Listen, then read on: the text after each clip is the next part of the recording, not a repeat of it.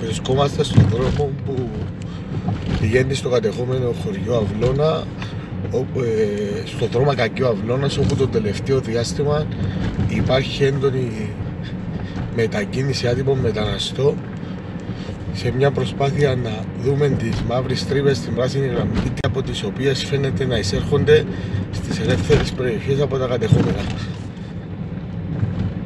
Θα προσπαθήσουμε να δούμε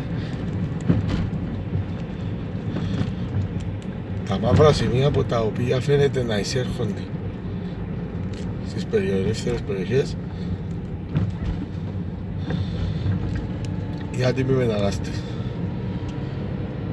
Όπως θα διαπιστώσετε η αρχή του βίντεο μας έχει ξεκινήσει από το σημείο όπου συνήθως η αστυνομία εντοπίζει τους άτιμους μετανάστες και μέσα από αυτό θέλουμε να δείξουμε πόσο κοντινή είναι η απόσταση από τις κατεχόμενες περιοχές αφού ούτε 4 με 5 λεπτά με τα πόδια μπορεί ο καθένας να περάσει από τις, ελεύθε... από τις κατεχόμενες τις ελεύθερες περιοχές.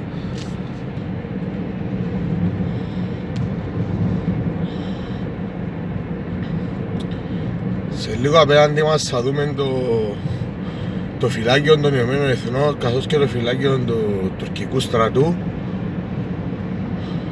όπως επίσης και το δρόμο που είναι αυτός που διαχωρίζει στην ουσία τις ελεύθερες από τις κατεχόμενες περιοχές.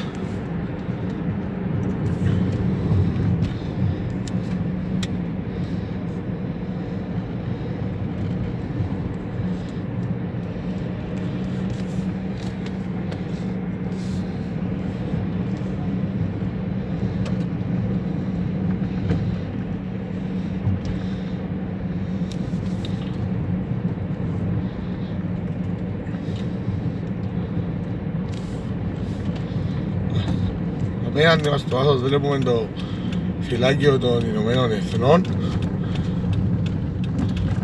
το οποίο ουσιαστικά ελέγχει τη γραμμή αντιπαράταξης ενώ στην ουσία στον δρόμο που βλέπετε είναι αυτός που διαχωρίζει τις ελεύθερες από τις καρυχόμενες περιοχές στην περιοχή.